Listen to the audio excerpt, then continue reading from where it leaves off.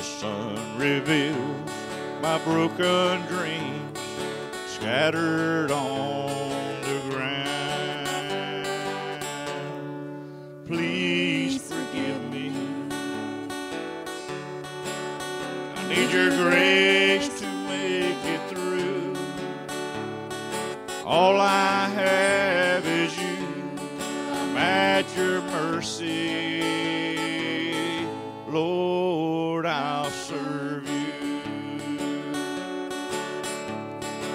Till my dying days. Help others find a way. I'm at your mercy. Please forgive me.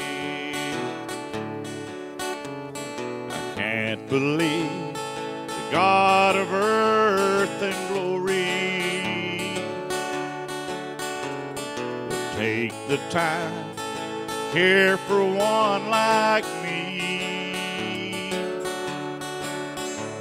But I read in the Bible that old story how he pled for my forgiveness while he was dying on a tree. Please I need your grace to make it through. All I have is you. I'm at your mercy. Lord, I'll serve you till my dying day. Help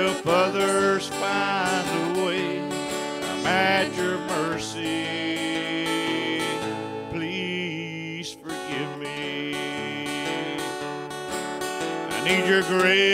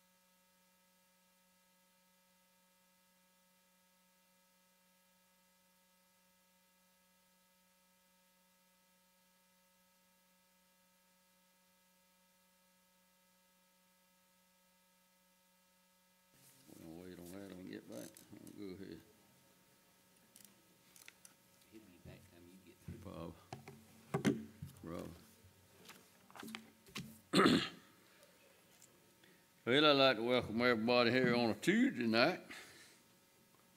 Different night. Uh, What day you worship the Lord on? Every day. Yeah, you know, I failed that test first time I was asked that. Black guy was working with me, he said, what day you worship the Lord on? I thought he meant what day I went to church on, you know. So I said, Sunday. He said, no, you worship the Lord every day. I said, you right. So, Anyhow, I'd like to welcome everybody. Thank everybody here. Alan Brocker, how about open us up?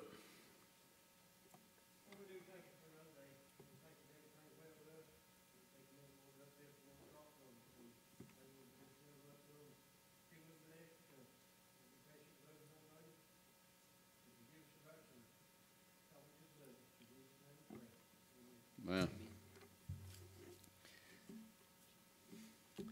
December the first, gonna be the children's play during the morning service. Have children or grandkids, if you're involved with that, ten AM. December third will be the Christmas adult party. I got a sticky hand that says you can still come if you'll sign up, although it's past the date. Uh, uh, you sign up if you hadn't already. Need to know how much food to prepare.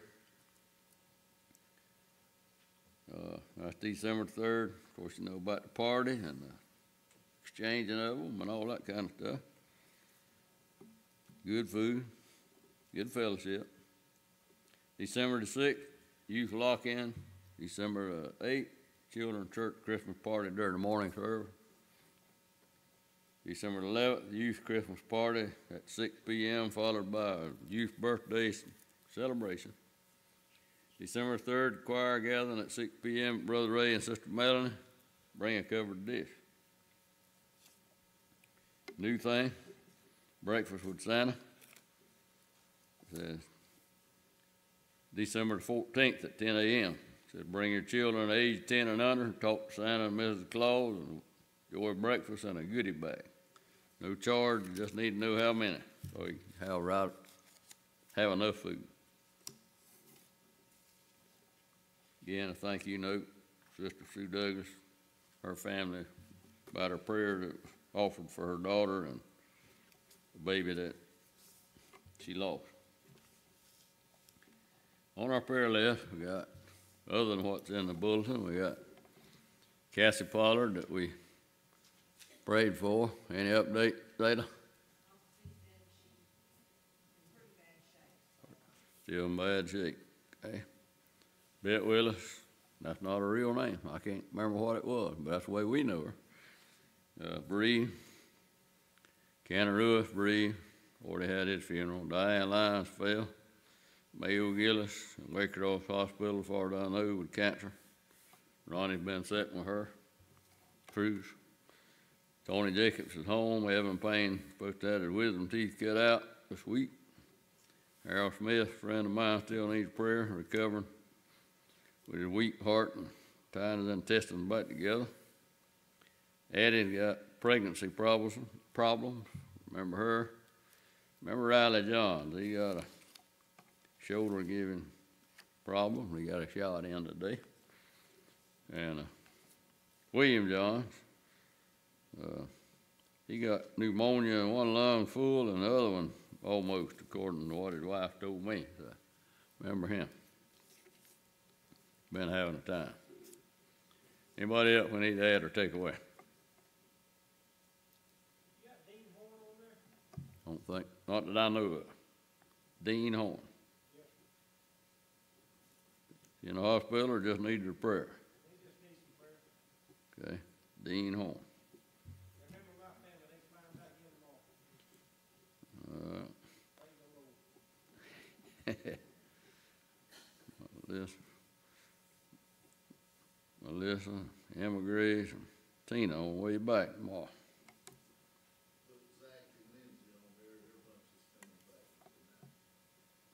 Zach and Linda.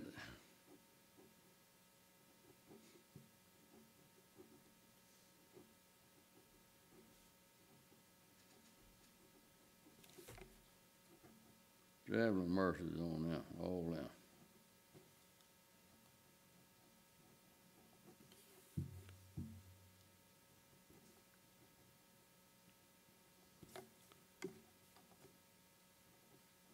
But it. Lexi.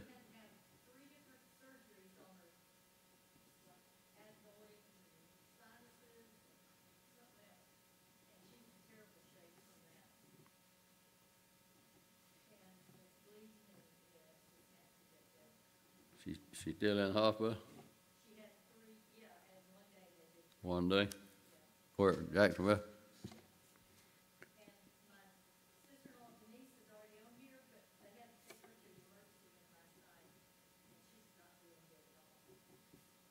They had to do what there Denise? Marjorie?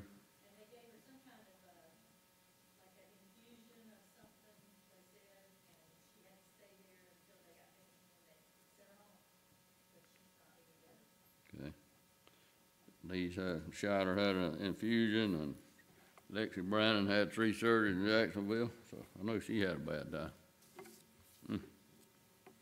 But, yeah.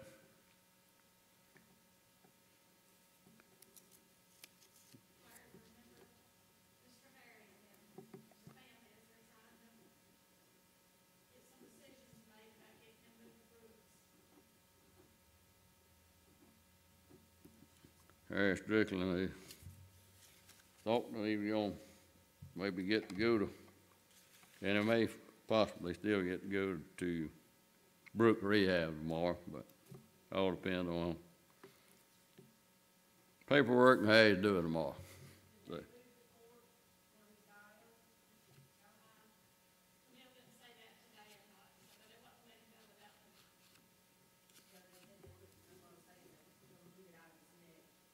I don't know, his kidneys is still a, one of the main problems. Not functioning like they ought to.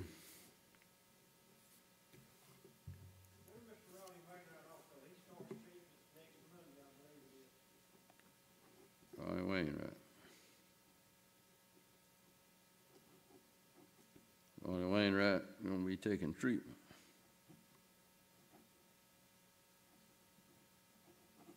What else?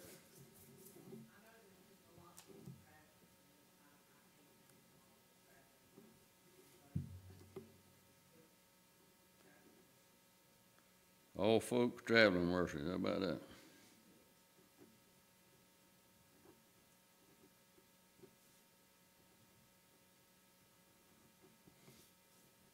We pray everybody had a good Thanksgiving.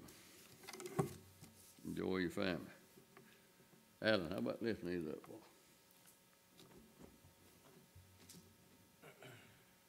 Dear Lord, we come to you tonight, God, just thanking you for your mercy, God, thank you for your blessing.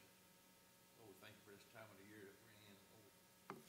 Thank you for our salvation, and Lord, the, the spiritual blessings that you give us each day, Lord, sometimes we don't realize.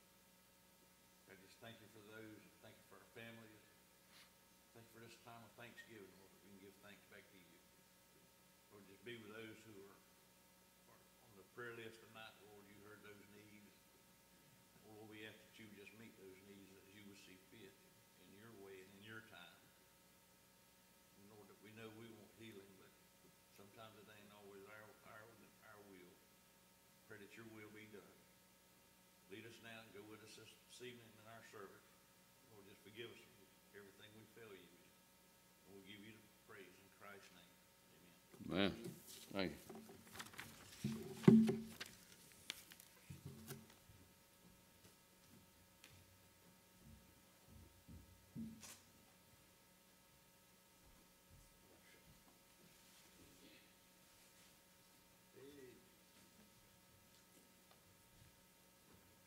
Shock tonight. So, so you, it's gonna require one of these, so grab you one of these. We, we're gonna do the first, before you start, Charlene. We're gonna do something else first. Grab you, it's gonna require one of these. Everybody grab one of these. Page seven oh five.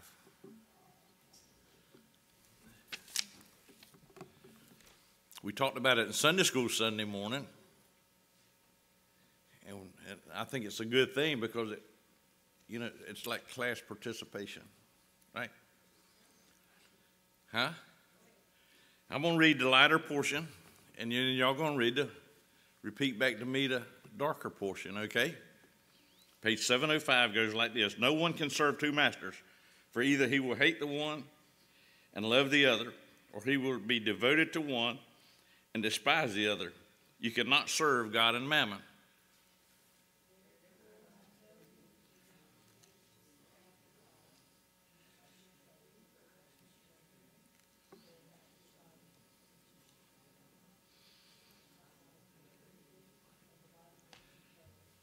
Therefore, do not be anxious, saying, What shall we eat, or what shall we drink, or what shall we wear? For the heavenly Father knows that you need, a, need them. You need them all.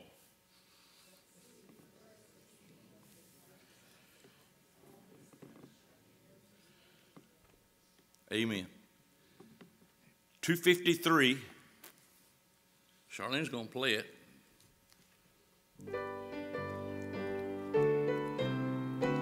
Stand up with me. We need to stand on this one. Praise God from whom all blessings flow. Praise Him, all creatures here below. Praise above ye heavenly host. Praise Father, Son, and Holy Ghost. Amen.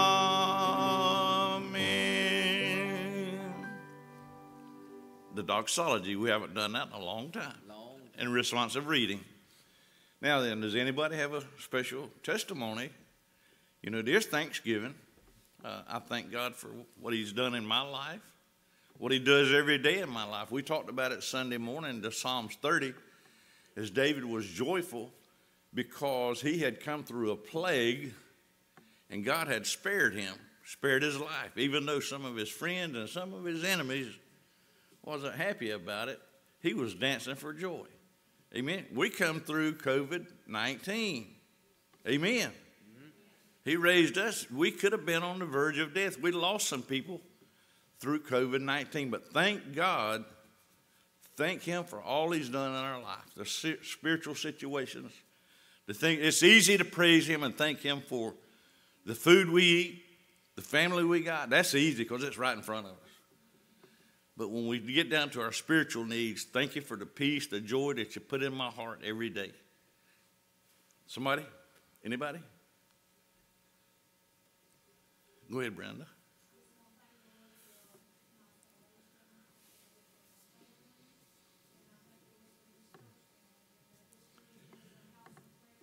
Amen.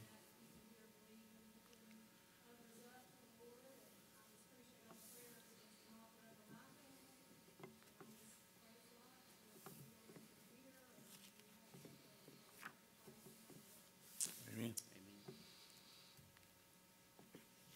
It's easy. All you got to do just like say what you're happy about. Say what God's done for you. I know GW, you've got something. I know you have.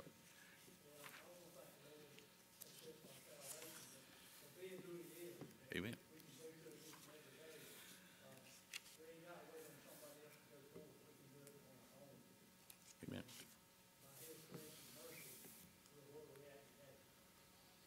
But I want to, or anyway, pray for people that's going to be on the road this Thanksgiving,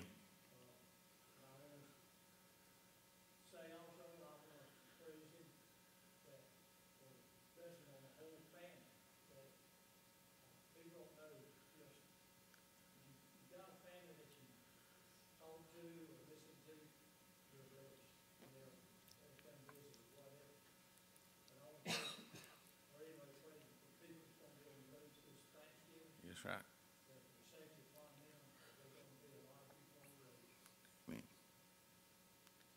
And the, and the lesson was also saying about, you know, there, there's going to be a piece of people missing at our table this year that used to be there at our table. You know, I miss my mom and dad. I miss Miss Latham and Mr. Bill.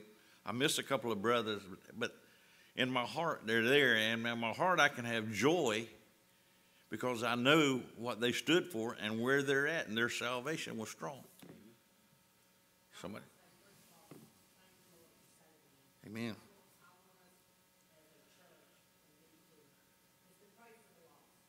That's right.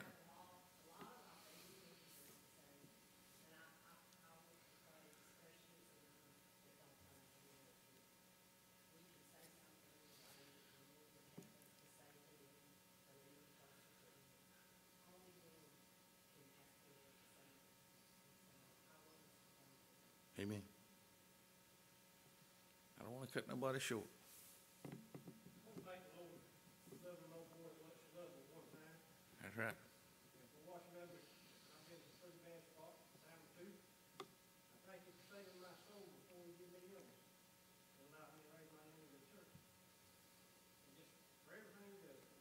thankful. Amen.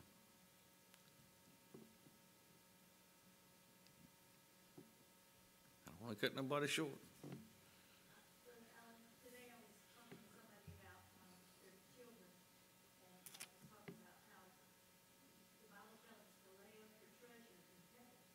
And I said, I think he's talking about people there, he's not talking about goods or deeds or anything like that. Because the only thing you can take to heaven is people with you, That's right. you know? And I told this person, I said, and that's why God wants our lives to lead those children in the right direction, so that they will know how to get to heaven. You know, and, but I, when I think about that, lay up your treasures in heaven. And, and that, I think that's what God means, you know, so that's the only thing we can take to heaven, is souls.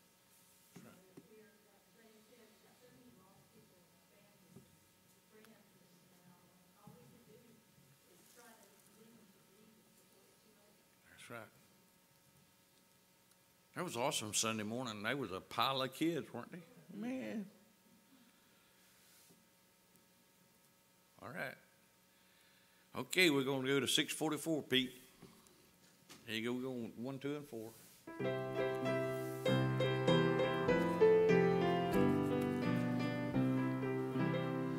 When upon life's billows you are tempest tossed, when you are discouraged, thinking all is lost, count your many blessings, name them one by one, and it will surprise you what the Lord hath done. Count your blessings, name them one by one. Count your many blessings, see what God hath done. Sings name. Hold on. Start over, Charlie. Are you ever burdened with the load of care? Does the cross seem heavy you are called to bear? Count your many blessings every No, I done mess that. Count your blessings, name them one by one. Count your blessings, see what God hath done. Count your blessings, them one by one. Count your many blessings, see what God hath done. So amid the conflict, whether great or small, do not be discouraged, God is over all. Count your many blessings, angels will attend. Help and comfort give you to the journey's end. Count your blessings, name them one by one. Count your blessings, see what God hath done. Count your blessings, name them one by one. Count your many blessings, see what God hath done. Maybe see.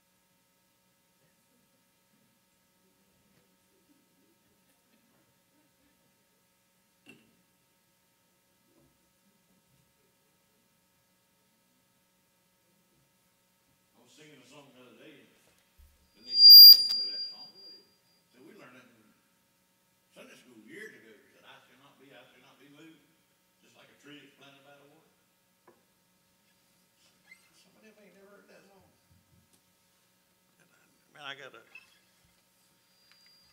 a catalog of songs, I guess, in my head. This one right here, I, I messed up last Wednesday night, so I'm gonna do part two tonight, right?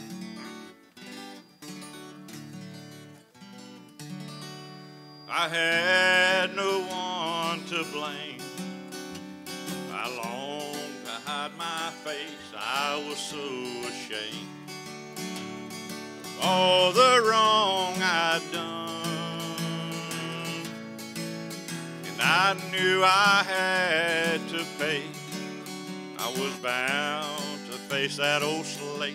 I'd be there today my friend, but for the blood, but for the blood that was shed on Calvary's tree, but for the blood was shed for you and for all my righteousness is filthy rags, and that's all I'll ever be but for the blood that cleansed and set me free.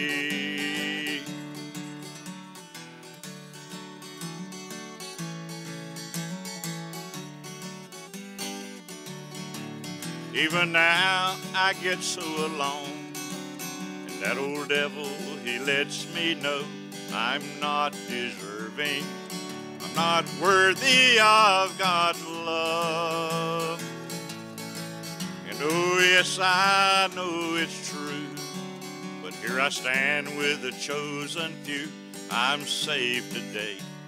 Yes, I'm saved just by the blood. But for the blood that was shed on Calvary's tree. But for the blood there be no hope for you and me. For all my righteousness is filthy rags, and that's all I'll ever be. But for the blood that cleansed and set me free. But for the blood that cleansed and set me free.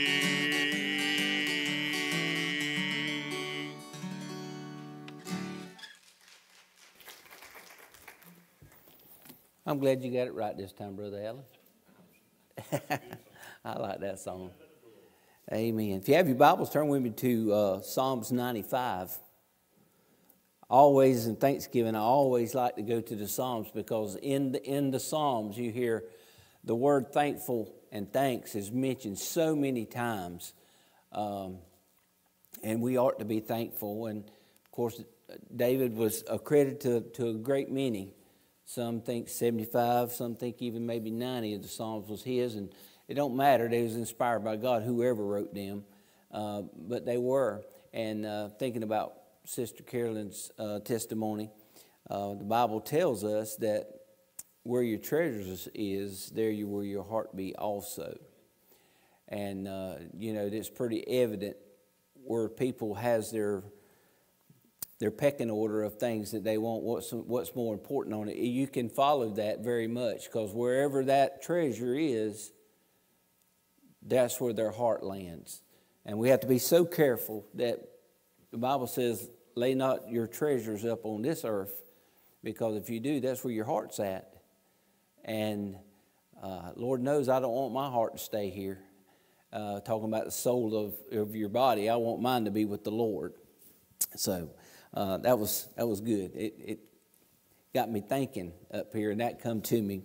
But tonight, if if you found uh, Psalms 95 uh, for a few moments, I want to uh, let's stand in honor the reading of God's word in verse one. Let's listen to what the word says to us right here. It says, "Oh come, let us sing unto the Lord. Let us make a joyful noise to the rock of our salvation." Three things I like to point out when we get there, Father tonight we are, we are thankful. Well, God, we, we couldn't thank you enough. God, you did something so great that thanks and return thanks is, is never reaches it. But God, we owe you our life. We owe you every breath that we breathe. We owe you every thought on our heart. God, that it would be to worship and praise you. God, help us, Lord, not to ever forget uh, what you've done for us. And God, help us see some of the things that you do for us, God, that we're not aware of. God, because you're everywhere and you do so much. But we love you tonight, and we pray you have your will and way in this service. And all God's people said, Amen. We think about Thanksgiving. Of course, uh, I don't know what they teach in school there, but way back when, we always uh, went back to the story there that where uh, the pilgrims came over and they were there at Plymouth Rock. Y'all remember that story? and uh, digging into that, you you know, we we always think that that was the first Thanksgiving, that day that they prepared things there, but uh, there was more natives there, and and and I looked the natives up, but I can't pronounce it. But it's a word that starts with a W, about that long, and that's what they were. But uh, nevertheless, uh, we know they were here. Uh, because uh, we we find artifacts, you know, once in a while. I don't go looking for them, but I have found a few in my day. Um, I think that's, I, I, I, can't waste time looking down at the dirt like that. But anyway, I, I, like to when I find one, when I spend a lot, you know, some time, but I, I would probably be more successful if I spent more time it. But that is not where my heart is anyway. But nevertheless, we know that it happened and, and the exchange of what happened, you know, uh, the pilgrims, what, they couldn't bring that much to the table because they were in foreign soil. Um, but the greeting of what they received uh, was uh, kindness, and uh, they shared with one another. Some, some don't even think the turkey was involved, and uh, he could have been or he may not have been, uh, but nevertheless, but the most important food back those days, easier to get, was fish and deer. And deer was, is probably one of the number one things um, that they fed back then. So, it's hard to get uh, someone from a foreign country to believe that deer meat is good. Even some that live in our area that deer is good, but nevertheless, they think that that was part of it. But everything that happened at that time, it set a, a stage, uh, a special day that we give thanks. which we should give thanks always. Uh, the Bible tells us in the, in the scriptures there to, to always be giving thanks. And in, in the 95th Psalms, uh, it says, Oh, come, let us. Um, when you think about that, I always I, I like to um, want to feel what what he's trying to explain here. And, and when he says, "Oh, come, let us," that means gather together to do it. Gather to do, and we do that on Thanksgiving Day. We gather together somewhere and we come together. and, and the way he says in a joyful thing, he says, you know, we may have been scattered out, but oh, let us come today and come there and sing unto the Lord. Well, I don't know about you, but uh, there has been sadness in some songs, but most of the time when you're singing, they're happy. Or if you're whistling, you're happy. Or, you know, uh, you know, you got the radio on and one of your favorites comes on there and you're just letting it rip going down the road right by yourself, uh, it'll pick you up. Um, my truck's been kind of acting up with the radio and, and well, it, it, it's, I don't know how to operate the thing, but uh, sometimes when my phone comes through, then the radio won't come back on the way I used to get to come back on, quit working anymore. Matter of fact, that symbol don't even show up no more. And I, but I finally figured out another way how to get it going on there. But I spent hours riding with, with just nothing there. But I'll tell you what it'll do. You're, you're not alone because in your mind you can start talking to the Lord and not being occupied by that. But to have the presence of, of music and words put to the, that music, it will, it will pick you up. It'll pep you up. And uh, I, I, guess that's why when you go to some of these larger towns, even some of our towns, all of a sudden you're outside somewhere and then you, are jumping and vibrating off the ground because somebody's really getting pepped up with them loud speakers coming by there and vibrating. Um, but nevertheless, God intended for song to bring joy.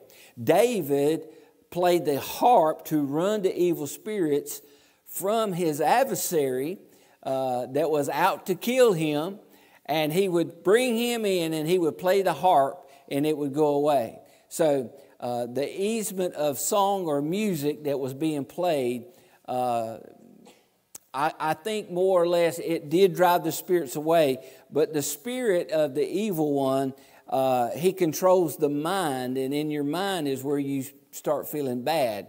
And when you get something to cheer you up, you get your mind. I don't know about you, when something really bothering me, um, I either need to go to sleep or I need to just work, work, work, work, work.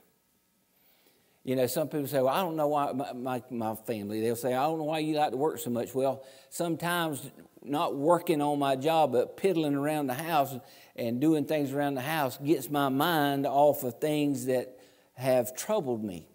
And um, so I create a lot of things. I used to think that my daddy would fall asleep at night after working us to death during the day and think of what we was going to do the next day. And I think he spent most of his nighttime dreaming about that, and the next morning it came to fruition. Uh, uh, you, you always had this project, that project, and that, these things going on, but I think it's good. But it says, Oh, come, let us come together unto the Lord. He says, Let us make a joyful noise a joyful noise. You know, I don't, I don't know what that would mean. I don't know if it's beating on, clapping your hands, stomping your feet, hollering, singing, or whatever it may be, but a joyful noise. Not a sad noise, but a noise of joy. I think if, if God is, is, can look down on us and see us, whether we acting joyful or we singing joyful or whatever it is, it lets him know that things is okay with us. And when you can find peace that you can do those things, you know, I've seen people sing and, and, and stuff before, and their heart wasn't in it. And, and when their heart wasn't in it, their heart wasn't really meaning the words that they were saying, it really just was a song. But when someone actually sings it as a testimony. You can tell, and it'll relate to me, and I'll get all teary eyed, and I'll get all uh, uh, spiritualized, and I'll get high for a moment. Man, I, I, I remember I was doing a, a, a homecoming, and, and, and I was, of course, I was visiting somewhere else, and and I was sitting by the pastor on the front. And he had been my former pastor one time before, and we were sitting there, and he had asked me to come over there. And, and that day was homecoming, and um, and and I was about ready to, to, preach, but they had this group of ladies that came and sang, and boy, were they good! I, I don't know, they was they were Church of God somewhere, and they was together for a long time. Boy, were they good! And they sung a song that was just. It, and all of a sudden, I jumped up and hollered, "Amen!" like that, and that pastor went, I'm going, don't you even dare, man. I, I, I, can tell you that that was so good to me. I couldn't sit still. That was a joyful moment. Well, you talking about geared up and ready to preach. I lost my voice that day. But I was so full and, and, and with joy. And if you're happy about loving the Lord, well, it shouldn't be a grudgery to come and worship or sing or whatever to the Lord, for He's good. He says, Make a joyful noise unto the rock of our salvation. You know, even those days they were talking about salvation. Jesus brought salvation as we know it, but he was still in the saving business in those days. That's what salvation means a, a savior, one that come to deliver you uh, from all those things. Not only that, he describes him as the rock, a firm foundation, one that you can depend on. If you were, um, if you were walking uh, somewhere and you wasn't sure and you saw a rock, surely you knew it's okay to step on that and it would not go down. Uh, I know uh, Miss Allison likes to go to the mountains, and she has to put her feet in that cold water up there for whatever reason. But uh, anyway, I always worry that when she's dibbling her toes in that cold water, you know, those rocks look solid, but that slime on top is slick. And all I can see is Brother Larry's white head going in there because she held on to him to get in that water. Uh, but we think of that as solid, and that's what it's always referenced to. Remember when he said, Peter, thou art the rock, and upon that profession that he made, it's upon that belief that you're talking about, that he was the Christ, he says, that's where I build my church. You know, so it's firm. He says we need to we need to be proud that God is not a moving target. That he is in the same place means the same thing always. He's consistent to that point. The Bible says that he is uh, faithful to, and just to forgive us of all of our sins. That not, not leaving any out. He's faithful, he's just, he's solid as a rock to forgive us of all of our sins and all of our unrighteousness. Verse 2 says, Let us come before his presence. Now, we, we think about that. You know, when we come to church, we ought to feel like we're walking into his presence. That word there in the Hebrew actually means walking up face to face face to face. When you when you can put yourself in that position, you know, you see people getting ready to go on stage and all like that. One thing they do, they get in front of a mirror. You know, but all they can see is themselves, and the person that they worried about letting down is that person in the mirror. But when we as Christians, we, we, we come to church to worship, we're here to seek His face to be in the very presence of Jesus Himself, in the Spirit of God, that we come, and that ought to be a joyful moment. It ought to be an exciting moment. Not that we can't see Him outside, but when we come together, when we set everyone that enters the doors has decided that day to forget that out there, come together for one person. That's what's good. It, it's just one. It, it, it ain't all this other stuff. It's just one. And man, that's a good song. That, that's a good feeling. When you can feel like that, even when the day of Pentecost comes, they describe that moment, they were all in one mind and one accord. One mind. So when we come together in that mind of Christ, man, joyous things can happen. And He wants us to be happy. He says, let us come before His presence or His face with what? Thanksgiving. You know, uh, the worship hours, uh, you know, uh, we do have prayer. We do pray for people, and that's not it. But the worship hours really set aside for us to praise Him and be thankful to Him. We should be thankful all the time, but we should come. If we come together acting like we're headed to a party that's going to be loud, we'll have a good time in the Lord. But if you come and say, you know, I, I can remember, uh, I shouldn't tell you all this, but I will. Um, when I was in high school, I, I, I would I, I, didn't go to the the dances after the ball games and stuff like that. My daddy wouldn't let me. I mean, I had to be home at a certain time. By the time the ball game got over and the whole crowd got over there to the dance, I was supposed to be at the house. But when I got in college, you know, I figured out that the, the coolest place to mingle uh, would be down there that the student union would actually put on a dance about once a month. You go down there and you could see all your friends and all like that. And uh, man, you'd be surprised at some of the snootiest people in the world. When they got down there, they were a different person. They, they were just different people. But the next day, when it got daylight and they saw you, they didn't even give you one iota of a chance to even say hello. But it, what I'm saying is, but when you go to somewhere to have a peaceful and an enjoyable time, When everybody's in that mindset, you'll leave with joy in your heart, especially when Jesus is the forefront of everything. You ought to be able to look at the cross and gain joy. You, you know, our crosses don't have a picture of a man on there because he's not there. You know, if we had a tomb up there, we have it open. We can't rejoice in that tomb because he's not there. We rejoice in him because he sits on the right hand of the Father.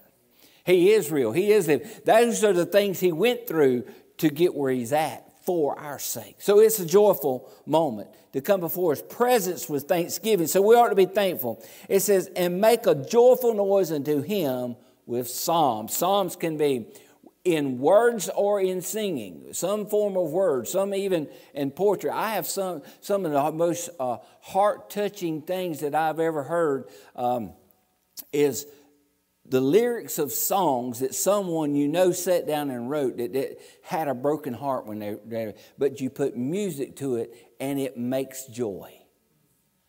You know, I, I think of uh, uh, Miss Fanny J. Crosby. You know, she, in, in, the books, the old books, uh, she she done um, so many good writings, and, and, for her to be a blind person, how, who in the world?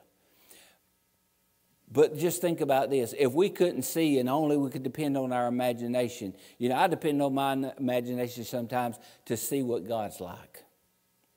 But I get to look around and try to compare it to anything down here.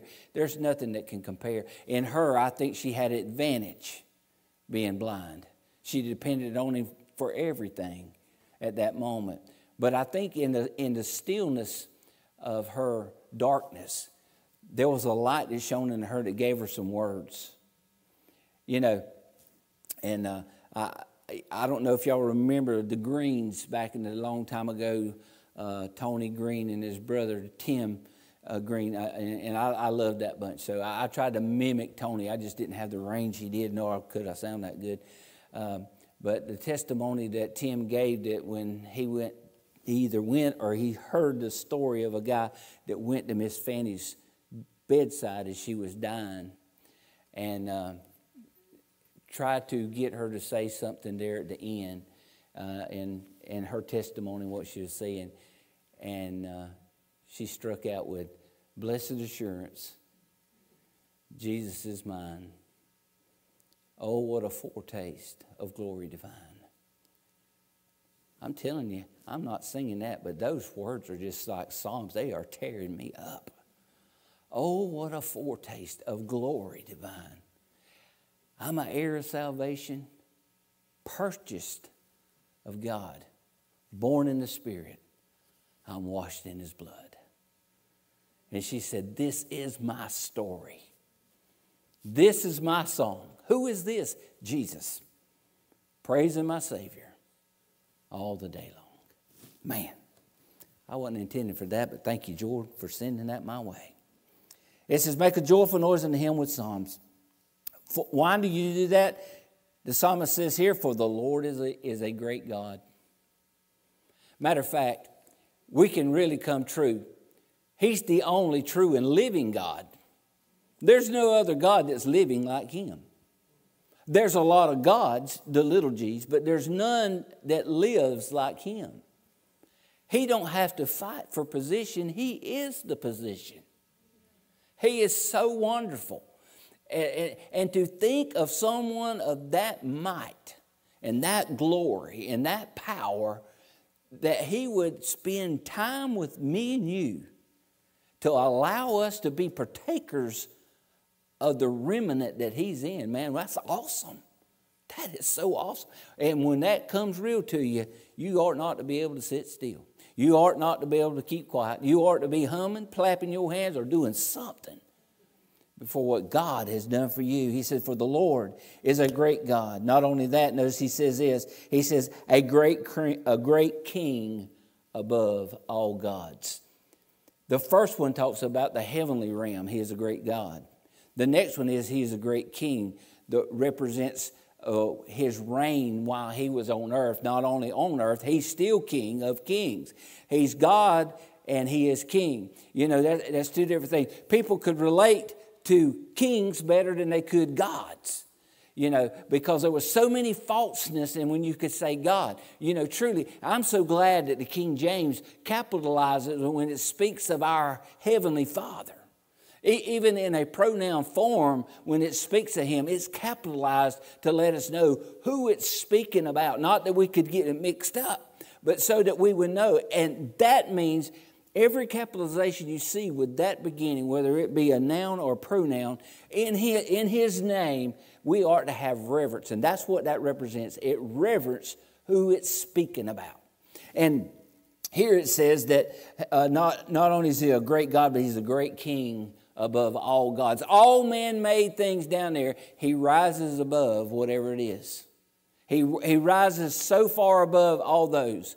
You know, um, you, you, you hear of all the ones leading nations all over, and you can read about all the ones that led in the days past. But the only successful ones that wound up with a good story to tell at the end is the one that where God was king and he just used a man for the position.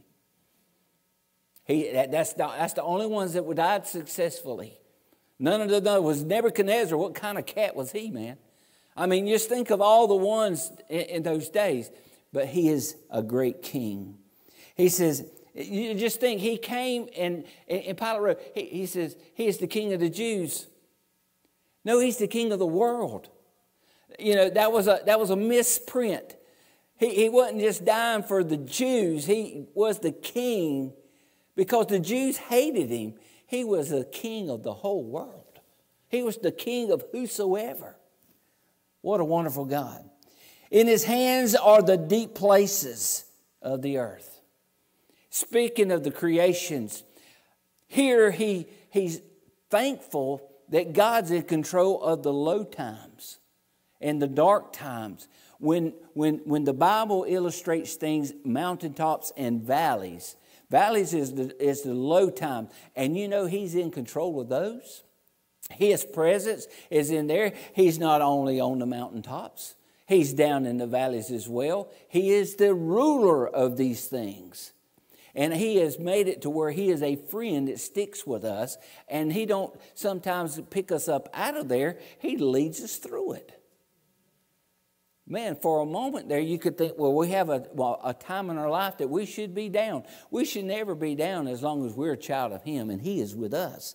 He says, In His hands are the deep places of the earth. The strength of the hills is His also. You know, most of the time, it, you, you know, uh, everybody wants to talk about that mountaintop experience. That's a wonderful thing, but the only reason why you can brag on the mountain is because what the valley done to you. If the valley hadn't ever done to you, you wouldn't know no mountaintop.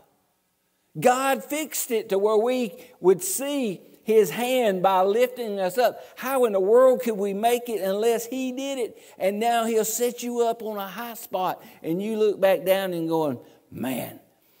He said, That was so good. That, that was so good that, that I'm, I'm not there no more. Man, I look back at my life, I'm glad I'm not what I used to be. I ain't what I ought to be, but I'm not what I used to be. And it ain't because of my strength, it's because of Him. Sometimes He drug me through those valleys. Sometimes I wanted to give up. Sometimes I just want to quit.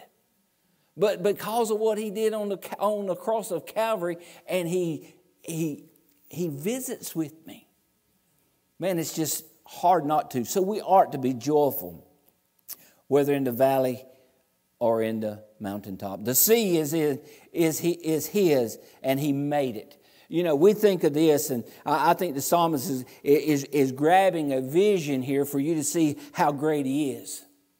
You know, uh, for me, uh, you know, I could care less. I've been out so far you couldn't see land, 50 miles, that's about as far as I've ever been. Or that's what the guy said, I could, you couldn't prove it by me.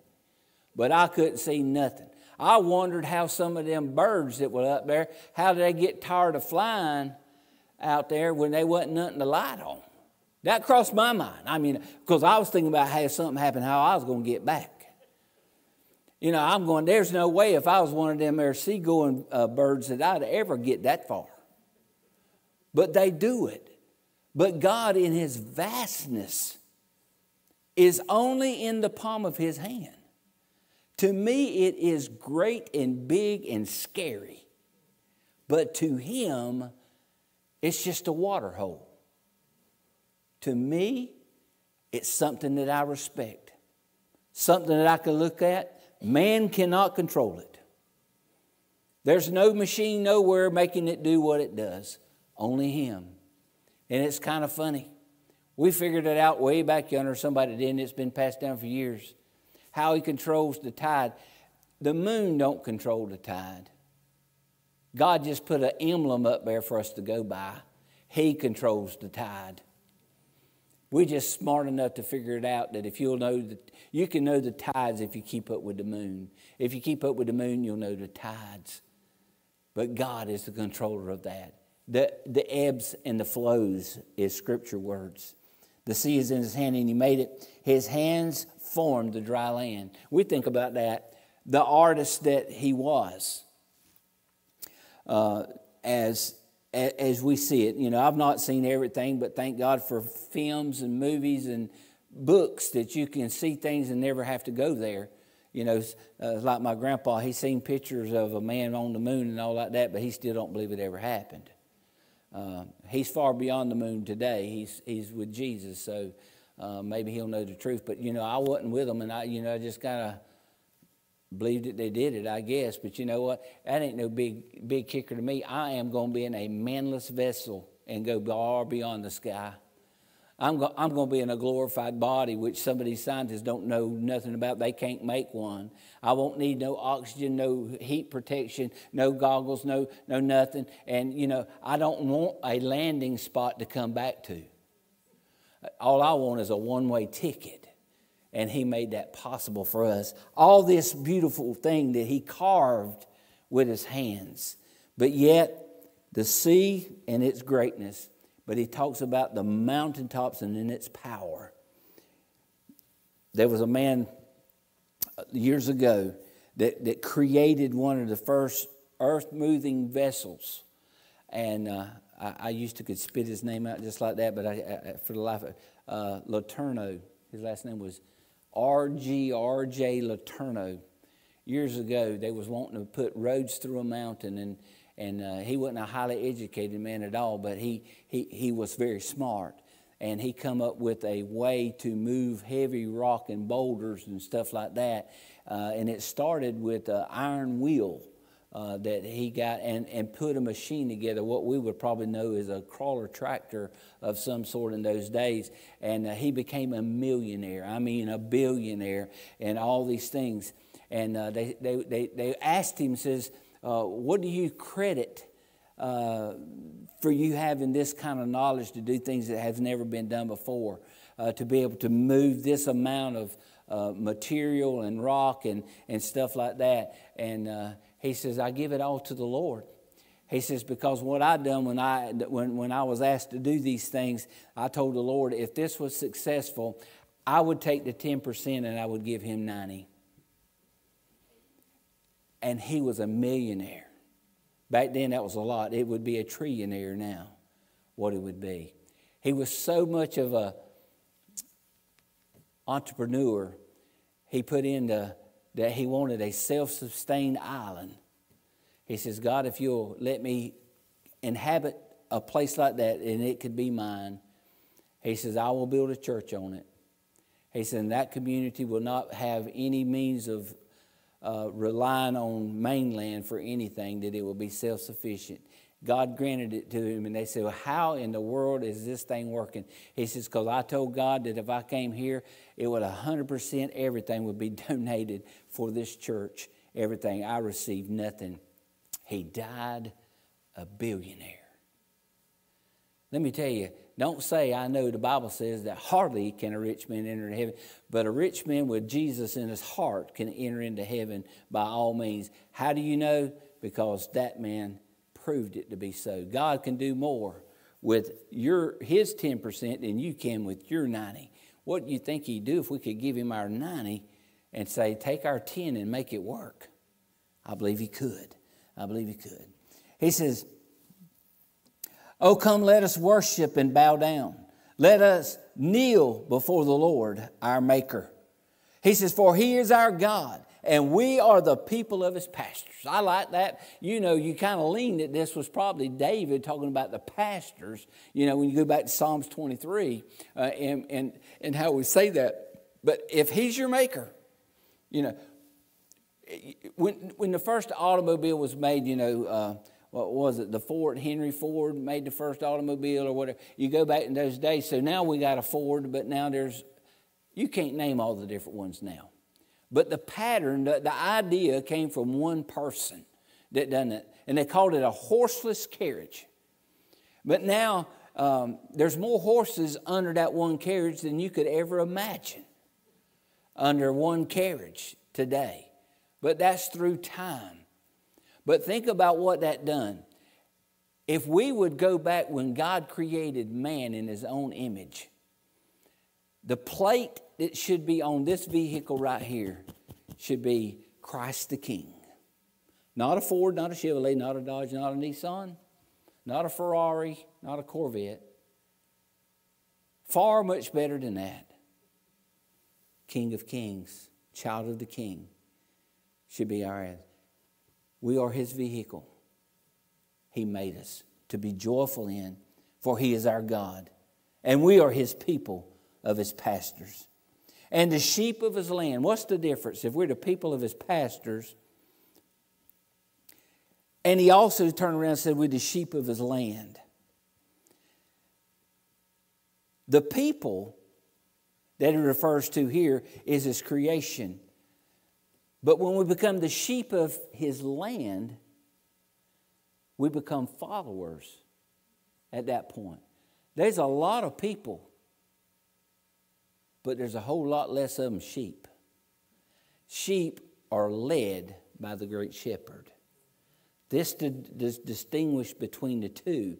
He made all, but not all are sheep. We should rejoice that we're one of Him, the sheep of His hands.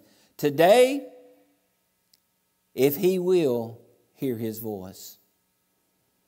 Verse 8 says this in warning Harden not your heart as in the provocation, as in the days of the temptation in the wilderness.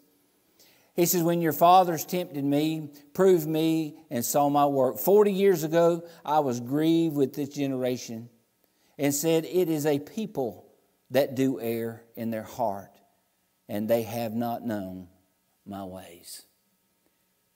Where does it start? The Bible says it's, the heart is deceitful, it's desperately wicked. And that's where it starts. And he says, hearken, warn, warn you. Get your heart right, get your mind right, get yourself right. Come together and rejoice and be thankful. Because everything we have was given to us by him.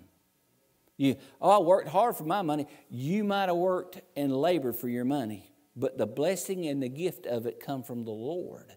Because if you weren't able to do what you do, or had the wisdom to do what you do, or can manage what God gives you, then you wouldn't have anything. So be thankful for all that He has. The last verse, and it says, Unto whom I swear in my, in my wrath that they should not enter into my rest. Who is the ones he's talking about? The people of the land, not the sheep of his pasture. The people, the wanderers in the wilderness the point should be always proven and should, should be always made. The ones that God led out of captivity, it wasn't but a handful that made it into the promised land, and that was the chosen few. And you could tell by the way that when they was getting right to inherit the land of Canaan, which ones they were, because he sent out several spies, but only two come back with a positive note. That's why those guys relish. Instead of seeing the impossible, they saw the possible with God. Oh, Caleb and Joshua come back says, we can take them. We can take them. And all the rest of them says, no, we can't. There's giants in that land. How big is God? How big is he? With us, nothing's possible. But with God, all things are possible. Having joy and hope in your life. Just remember, however, however big the stones are that may be raining in your, in your parade, God's got an umbrella that will keep you, you safe from harm. You'll always be His. Come together with thanksgiving. And remember that when you bust that old turkey open, He made him. It was kind of ironic. I saw that this morning early on the news that our president pardoned a turkey, which is the most stupidest thing I've ever seen in my life. But nevertheless, I know they do it for whatever reason. That that turkey's going to be put on a farm. He's going to live maybe maximum five years old, and he's going to die of old age, or a hawk's going to kill him. When we should be coming to this time of the year to give thanks for the one that pardoned us from our sins. Not the power of a president or a king or a queen somewhere that has authority to release someone from the bad things that they've done. What about a Savior who can forgive and not keep it on your record no more? That's a hallelujah moment. Amen. Thanks be to God. Hope you have a great Thanksgiving. Hope you have a good time with your family. You know, get together, eat them greens, dressing, turkey. All I want is that big old gizzard. No, I'm just kidding. But I hope you have a I hope you have a great Thanksgiving. Listen, the meaning of it is not all the food. It's it's getting coming together. Coming together. And the most important thing that happens then is that we realize where all of it comes from. Amen. Let's pray. Father, tonight we do love you. We thank you for, uh, for everything. God, that's, that's the best I can do. I, God, I, I could name them one by one and I'd just be here forever and ever. But I couldn't cover the ones that I'm not aware of. So, God, I thank you for those. God, just go with us. Let us have a joyful time in this Thanksgiving year. God, it's coming up to where we're going to celebrate the birth of our Savior. And God, we're thankful for that ahead of time. But God, let us remember what we have was not a gift from someone, it was a gift from you. And God, you blessed us with it. You told us if we'd work and believe, God, that all things would be possible. And God, let us be satisfied in the state that we're in, but worship and serve a king that gave his life. God, go with us now. Keep us safe as we go home. Bless each one, bless each home. God, as they meet together in Jesus' name. Amen.